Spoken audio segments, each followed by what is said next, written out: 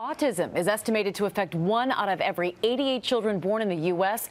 And now a new study says that having a fever or the flu for a week during pregnancy could at least double the chances of a child being born with autism.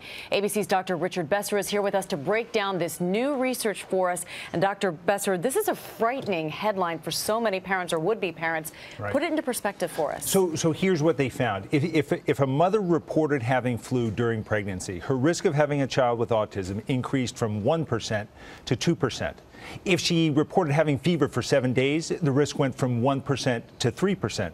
So while it's doubling or tripling, it's still very small. But there are a number of questions about this study itself. It's what's called an exploratory study. So it's designed to look for other things to study in more detail. They enrolled over 100,000 moms in, in, this study from Denmark. They asked them over 100 questions, but they never tested them for right. flu.